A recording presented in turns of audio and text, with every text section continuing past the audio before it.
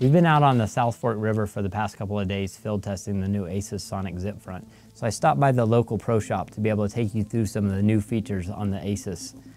The first thing that we wanted to do, because we've been working on this wader for the past couple of years, and we really wanted to start from the ground up. So we concentrated on developing a new ergonomically designed anatomic left and right fit stocking foot. It shapes to the unique design of your foot and it's sculpted so it reduces bulk inside of your wade shoe. Over the past two years, we've focused our efforts on developing the next generation of sonic welding technology.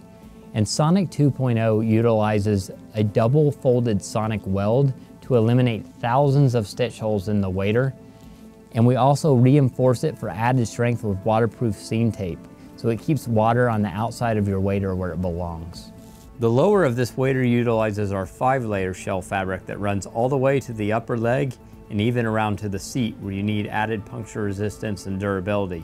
The upper of this wader uses a four layer shell fabric for added breathability where you need it most.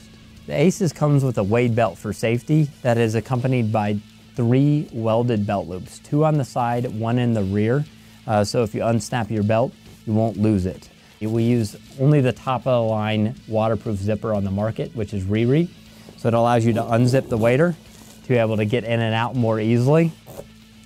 The chest pockets on the Aesis utilize a water resistant zipper garage. So if rain is pouring down, it won't actually make it into the pocket. And there are also micro fleece hand warmer pockets on the inside. The suspension system on the Aesis allows you to convert it from a waist high without taking the suspenders off.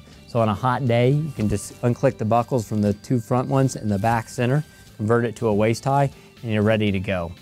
Also, the Aesis is Core INS compatible. It allows you to convert this wader to an all-season wader and install our removable insulation system. So next time you're at your local pro shop, ask about the new Aesis Sonic Zip Front from Hodgman.